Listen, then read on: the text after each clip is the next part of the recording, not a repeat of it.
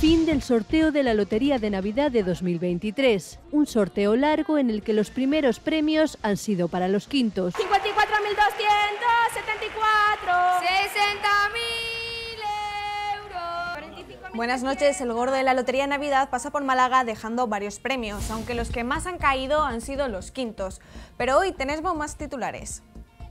El presupuesto de 2024, que entrará en vigor el 1 de enero, no verá implementada ninguna de las enmiendas del resto de grupos. Es por ello que PSOE, con Málaga y Vox han votado en contra de estas partidas.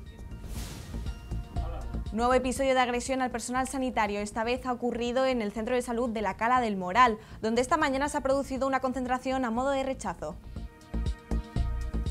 El equipo cajista se enfrenta a la UCAM Murcia en lo que se supone el último encuentro a domicilio del Unicaja, un partido con viejos conocidos en el Palacio de los Deportes de Murcia.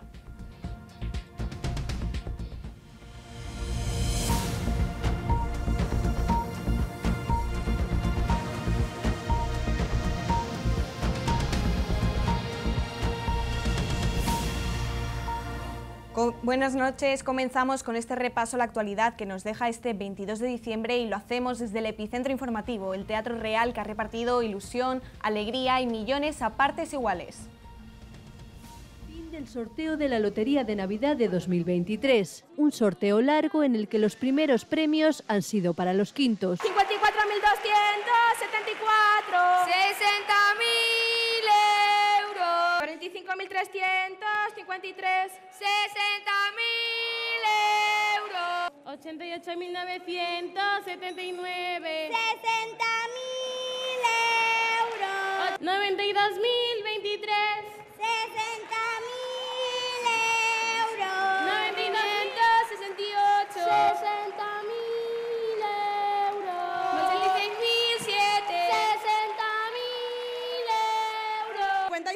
57.421. 60.000 euros. 27.038. 60.000 euros. El 93.361 fue el primer cuarto premio del sorteo de Navidad, dotado con 200.000 euros a la serie, y el segundo el 41.147, cantado a las 12.07 en el tercer alambre de la séptima tabla.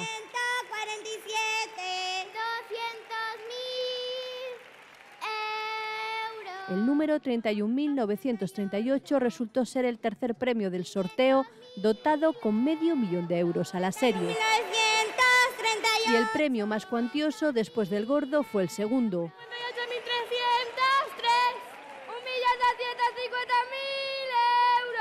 1.250.000 euros. dotado con 1.250.000 euros a la serie, cantado a las 13.02 en el tercer alambre de la novena tabla. 88.008, ese ha sido el número del sorteo de extraordinario de Navidad. De nuestra provincia han sido 2,8 millones de euros los que el gordo ha dejado, aunque también nos hemos quedado con cinco quintos premios repartidos por diversos municipios. Nuestro compañero Tony Vertedor ha estado en una de esas administraciones en las que ha vendido un décimo del gordo. Tony, cuéntanos. Sí, efectivamente, en Málaga eh, ha caído la Lotería de Navidad muy repartida, desde varios quintos premios hasta un segundo que se ha vendido en la administración de calle Lagunilla, en el barrio de la Victoria, y un primer premio, el gordo de la Lotería de Navidad, que ha caído en un décimo que se ha vendido aquí en esta administración de lotería, número 61 de Málaga, en calle Armengual de la Mota y en calle Mármole, donde también se han vendido varios décimos de ese 88.008, el premio gordo de la Lotería de Navidad 2023. Así que no podemos estar más satisfechos en Málaga porque ha caído muy repartido. El premio gordo de la Lotería de Navidad 2023 ya se conoce. El número 88.008 ha sido el número afortunado.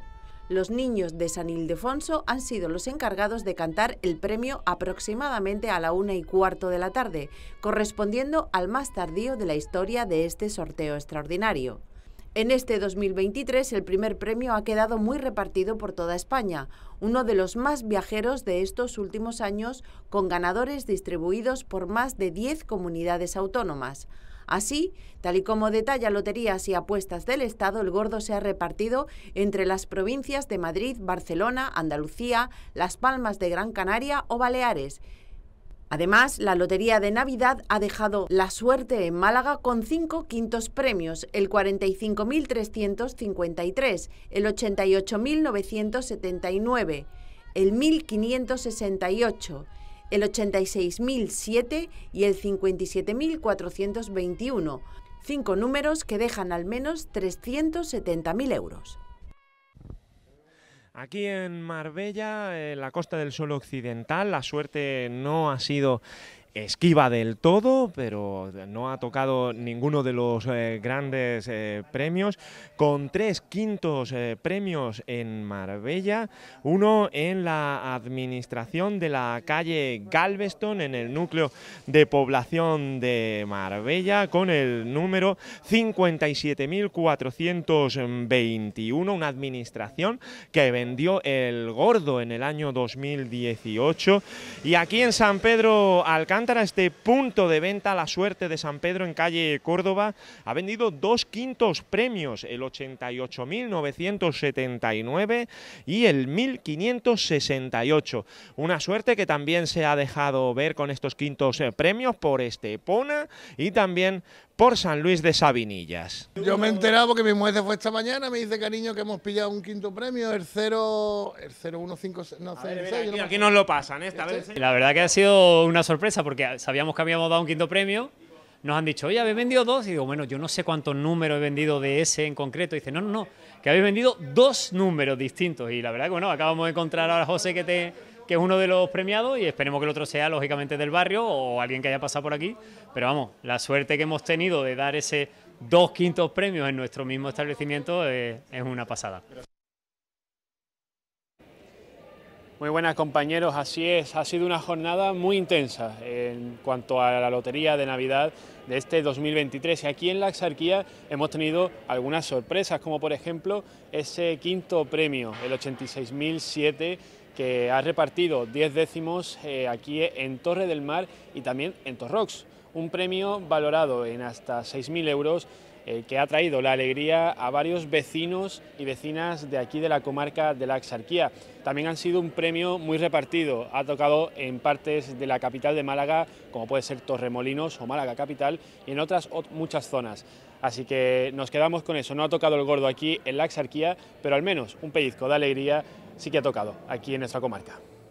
Que no podéis imaginar desde que me he enterado, porque claro, me llaman por teléfono. Y desde que me he enterado es que estoy, que, ya ves, que, que, que estoy, que, que me, me, me, loca de contenta. Loca de contenta, más que si me hubiera tocado a mí. Y lo sabe la gente del pueblo. La gente de Torre del Mar sabe que yo soy feliz dando premios, pero dándolo. A, yo en mí no pienso. Además, eh, llevo un par de numerillos y digo, a mí que no me toque, me da igual. Yo quiero dar premios. Eh, esperemos que dé otro un par, un par, un par de ellos más. Con dos premios más, la mujer más feliz de Torre del Mar hoy.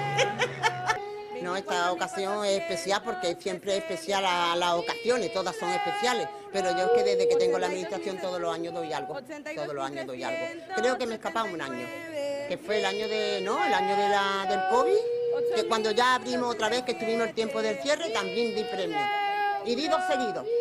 Me llamaron, me volvieron a llamar, digo, pero ¿esto qué es? No me lo creo, no me lo creo, y ya está. Y este año pues igual, casi todos los años, yo tengo todos los premios allí, allí, allí lo veis, que no tengo donde poner más premios.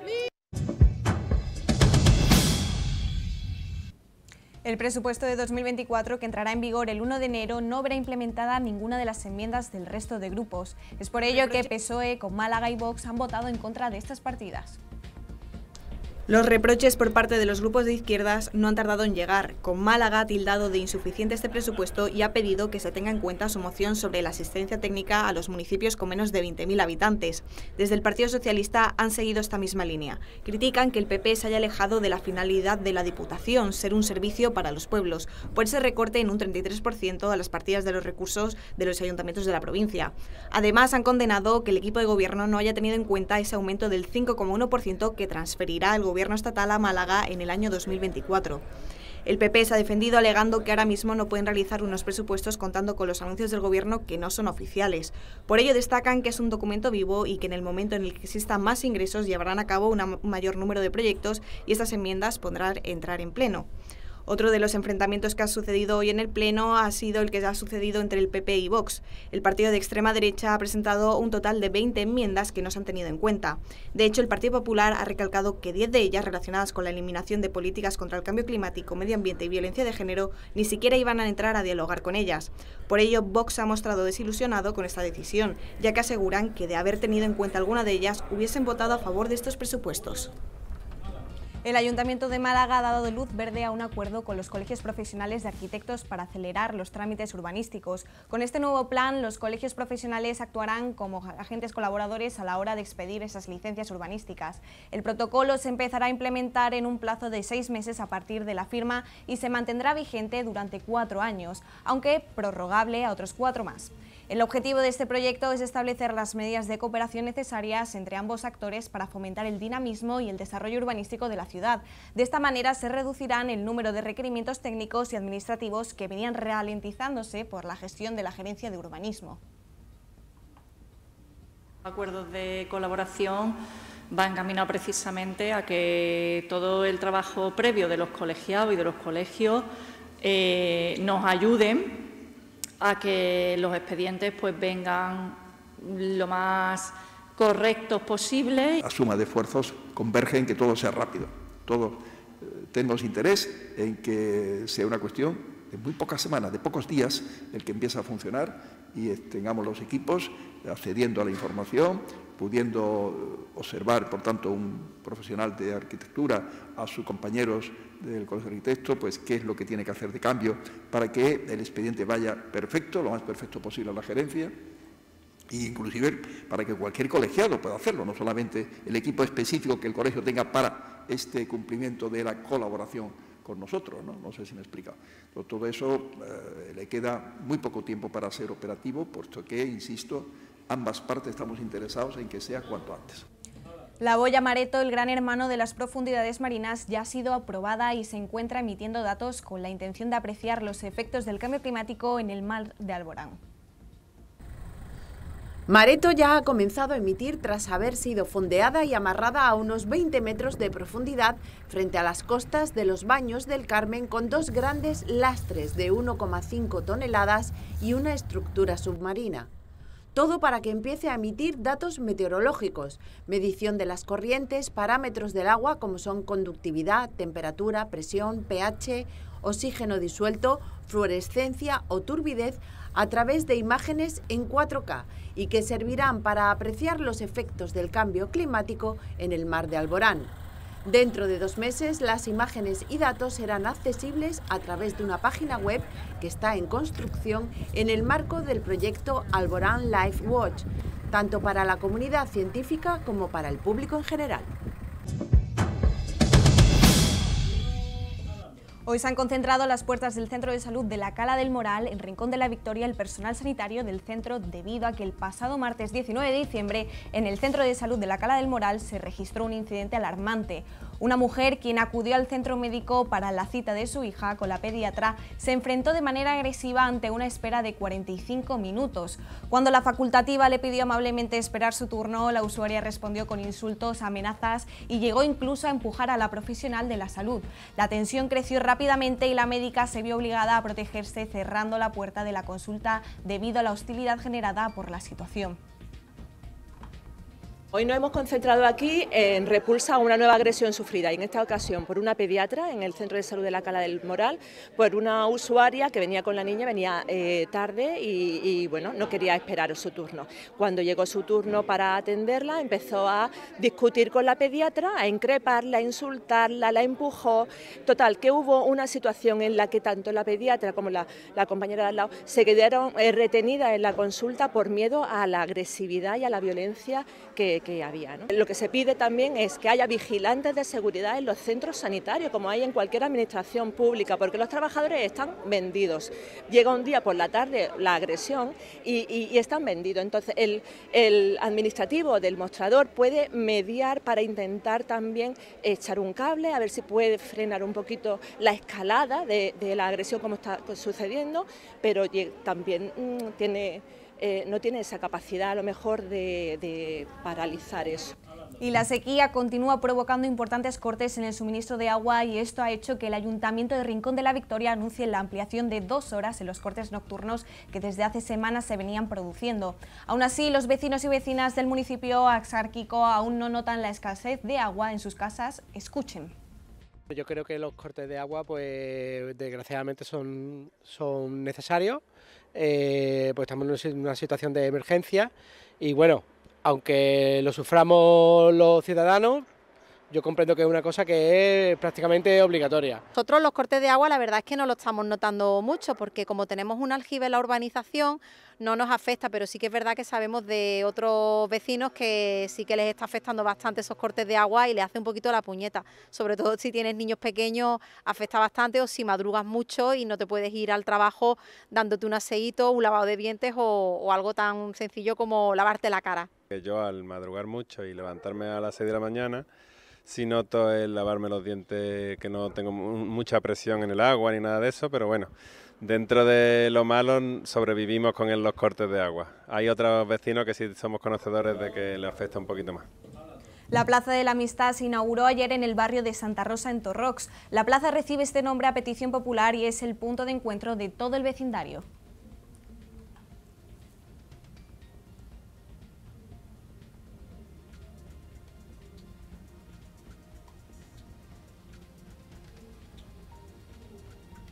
Esta placita, que tiene más de 30 años, es punto de encuentro de trabajadores, de jóvenes, de personas que vienen a pasear. Y es verdad que no tenía nombre, no tenía nombre.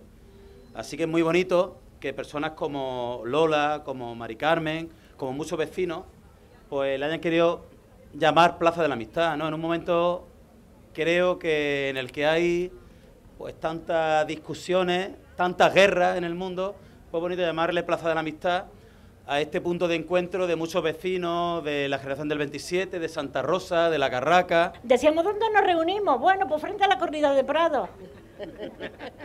Es verdad, cerca de, alimentación puri.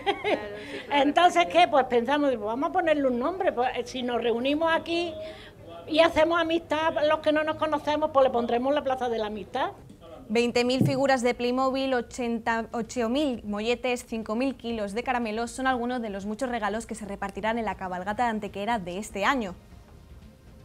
Antequera prepara la llegada tan esperada cada año de los Reyes Magos Melchor, Gaspar y Baltasar.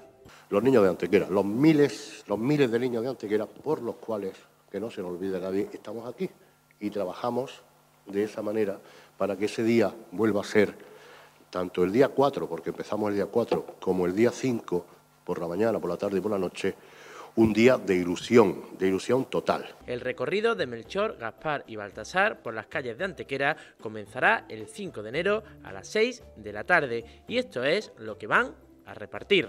Entre molletes, picos, mantecao, clics, pelotas, te iba a lanzar acedo hermanos, paletas de goma, juguetes, caramelos, unidades, unidades de cosas que se van a tirar, más de 90.000. La cabalgata de 2024 va a ser de las más seguras y este es el dispositivo que se ha preparado. Solo en la cabalgata, solo ¿eh? en la cabalgata habrá 50 efectivos, entre policía local y protección civil. Habrá también dos ambulancias medicalizadas, además de varios centenares, miles, diría yo, de pulseras identificativas para pérdida posible pérdida, Dios quiera que no, de algún eh, niño, alguna niña. Como novedad, hoy, este año, tendremos dos drones, dos drones de vigilancia y seguridad de toda la cabalgata desde el aire. La cabalgata de Antequera, además, sigue creciendo en el número de sus participantes. La cabalgata empieza en la puerta de Estepa. Eh, como veis, es una cabalgata muy extensa, tiene muchísimos elementos, tiene muchos participantes este año que también eh, acompañan a pie, con lo cual la cabalgata va a ser muy larga y pues, necesitamos mucho espacio para formarla. Ya en la puerta de Estepa eh, entrará prácticamente formada.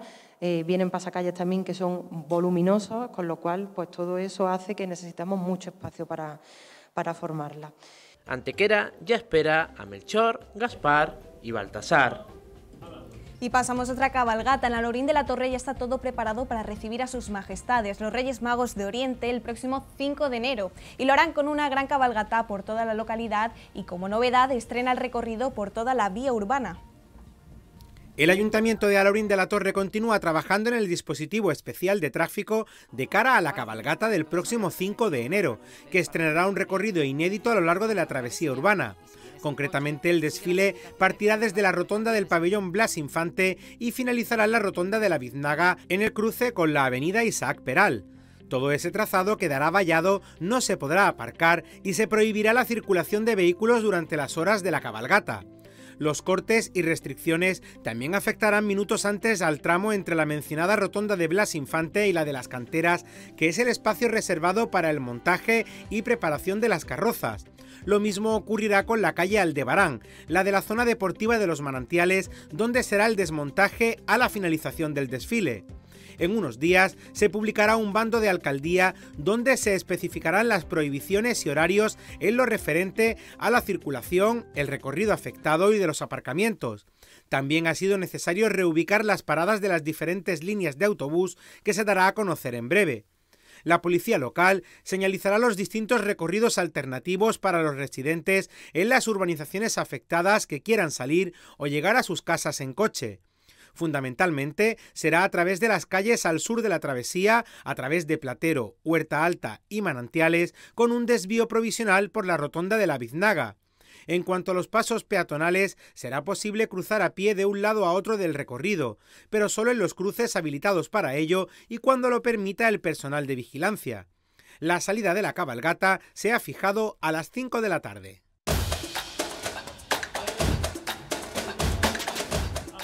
El equipo cajista se enfrenta a la UCAM Murcia en lo que se supone el último encuentro a domicilio del Unicaja, un partido con viejos conocidos en el Palacio de los Deportes de Murcia. El Unicaja Baloncesto se enfrenta al último partido a domicilio de este año en el parque de Lucán Murcia desde las 9 y media de la noche. El equipo cajista ya se encontraba en tierras murcianas después de enfrentarse al Peristeri y volar directamente desde Atenas a Murcia. Los Divón Navarro buscan encadenar la victoria número 11 en Liga Endesa, que de ser así igualarían el récord histórico que consiguió el equipo en las temporadas 2004-2005 y 2005-2006.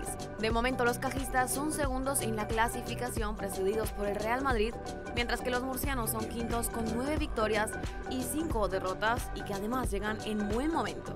Los de Cito Alonso tienen a favor el factor cancha, ya que han demostrado que en casa el UCAM se crece. Solo han perdido una vez en el Palacio de los Deportes de Murcia en esta temporada. Los dos equipos se han visto las caras en 56 ocasiones en todas las competiciones, con 39 victorias malagueñas y 17 murcianas. En Liga Andesa se han medido 48 veces con 34 triunfos y 14 derrotas. El último choque tuvo lugar en la semifinal de la Supercopa Endesa con victoria por 74 a 79. El escenario del Palacio de los Deportes es un viejo conocido para Augusto Lima, que podría reaparecer en liga en este partido tras recuperarse de su grave lesión. Será la primera vez que el pívot brasileño juegue ante una afición que no le ha perdonado su espantada. Y en el banquillo, Ivonne Navarro volverá a verse también con el equipo al que dirigió en el curso 2017-2018. Este encuentro correspondiente a la jornada 15 tiene un aliciente extra y es que el Unicaja está a 82 puntos de convertirse en el séptimo equipo de la historia en alcanzar los 120 mil puntos en la máxima categoría del baloncesto español. Y el primer partido del año nuevo para el Málaga ha sufrido un cambio de ubicación. No será en el feudo alicantino Estadio Antonio, sino que se disputará en el campo municipal de Los Arcos Orihuela a las 9 de la noche. El primer partido del año nuevo para el Málaga ha sufrido un cambio de ubicación y es que antes de recibir a la Real Sociedad en Copa del Rey, el equipo de Pellicer tendrá que viajar hasta Alicante para enfrentarse al Intercity el 2 de enero, pero no será en el feudo habitual del equipo alicantino. Las pésimas condiciones del césped han obligado a un cambio de escenario. En un comunicado oficial, el club ha confirmado que ha recibido la autorización de la Real Federación Española de Fútbol para que el partido Intercity Málaga, correspondiente a la jornada 18 del Grupo 2 de Primera Federación, fuese en el campo municipal de Los Arcos de Orihuela a las 9 de la noche. Desde el club alicantino han manifestado que los trabajos de resiembra y mantenimiento general del Estadio Antonio Solana imposibilitan la celebración de esta jornada en el campo. El mal estado del estadio Antonio Solana era un motivo de causa mayor que ya comentaba Sergio Pellicer en área malaguista. Más creo que igual a lo mejor cambiamos de campo. ¿Vas a te, recuperar? puedo, te puedo dar una noticia, a lo mejor... Se cambia de campo, ¿no? Porque el campo está regular, ¿no? Sí. Eh, El campo de los arcos tiene una capacidad para 4.000 espectadores y queda a una distancia inferior partiendo desde Málaga, por lo que es una buena noticia para los aficionados malaguistas que están dispuestos a desplazar. Para este próximo fin de semana en la provincia de Málaga se presenta con cielos totalmente despejados. Las temperaturas máximas variarán entre los 17 grados de Alaurín y los 19 de Cártama. Las mínimas, por su parte, bajarán hasta los 5 grados de Antequera y los 6 de Pizarra.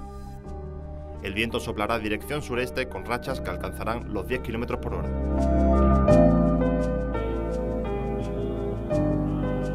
Antes de marcharnos, les recordamos que pueden seguir informados con toda la actualidad de la provincia tanto en 101tv.es como en las redes sociales y el canal de YouTube de 101 Televisión. Hoy nos despedimos con un toque navideño y familiar. Una de nuestras tradiciones navideñas son los belenes y desde aquí animamos a todos ustedes a que esas navidades se pasen para ver el belén municipal instalado, como ya saben, en el patio de banderas del Ayuntamiento malagueño y que estará abierto en horario de 10 a 2 y de 5 a 9 hasta el próximo Día de Reyes. Con estas estampas navideñas nos despedimos hoy. Buenas noches y gracias por seguirnos.